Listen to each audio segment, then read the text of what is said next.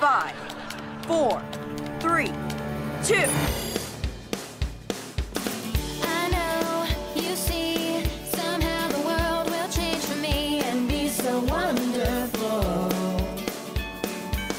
Live life, breathe air. I know somehow we're gonna get there and feel so wonderful. Good morning, Wilson. I'm Miley. And I'm Katrina, and today is Friday, March 15, 2024. And we are Wilson Video bringing you your Warrior News. On Sunday, many people will celebrate St. Patrick's Day. Hey, Miley, what's something you find lucky?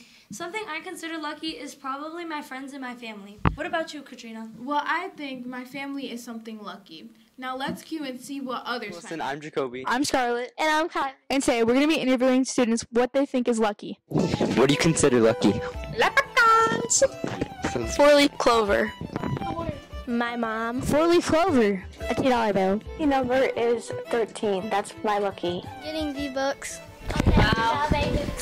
A four leaf clover. Consider my friends as lucky. Mr. DeSuit, because he knows me.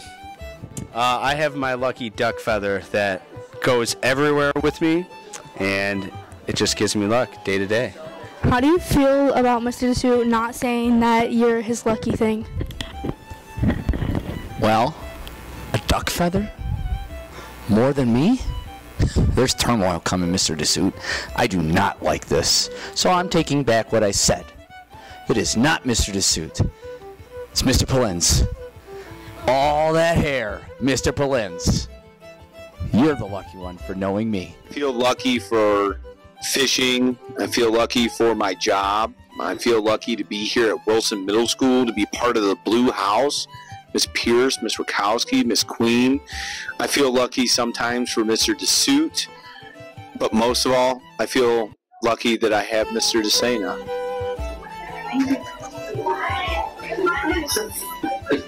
Um, how do you feel about Mr. Porns's response? I love you, Mr. Polens.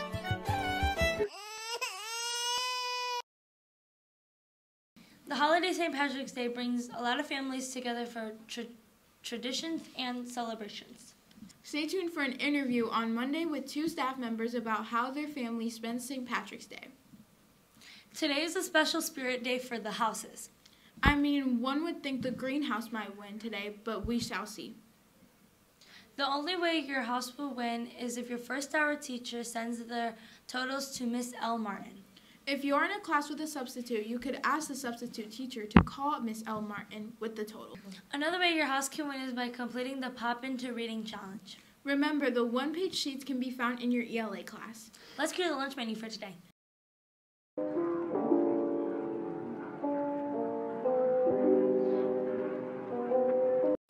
On Wednesday, everyone heard about the new quarter three event coming up called Family Feud. This event will take place next Friday. There will be a Family Feud event in the auditorium for each grade. The houses will compete head to head.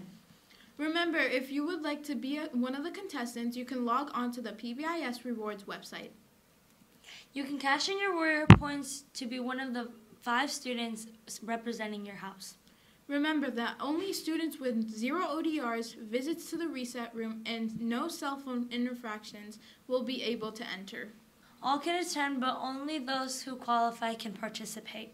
It should make for a great day heading into the break. Let's take a pause for our birthdays today and over the week. Happy birthday! It's your birthday. It's your birthday. Happy birthday to you. Hey Miley, what's your favorite snack from the vending machine? I like the baked hot Cheetos. Of course you do. Mine is the Takis. Let's cue to Jay Sean to find out what snacks other students like here at Wilson. Good morning, Wilson. I'm Jay Sean here, and today we're talking about everyone's favorite vending machine snack. The spicy funyuns.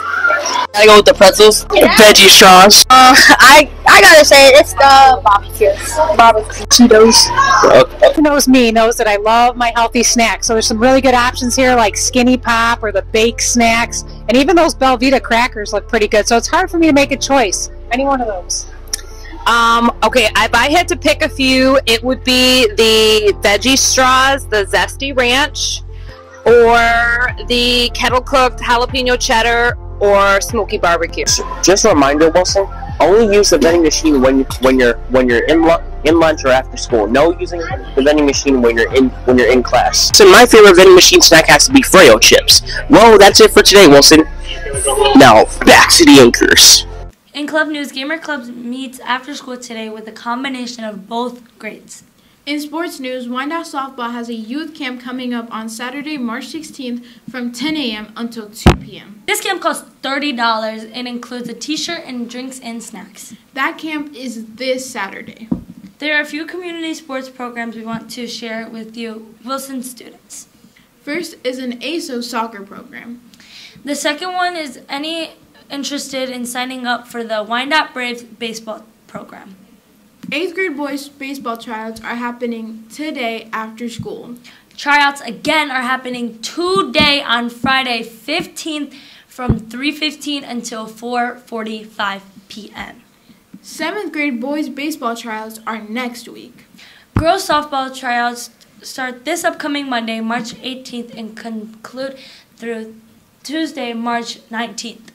Any student interested in signing up or participating in track this year, there will be a meeting Thursday, March 21st after school in the cafeteria. Practice will start when we return from spring break. Well, that's all for today. Have a great day. Now, please stand up, put your hand on your heart for the Pledge of Allegiance.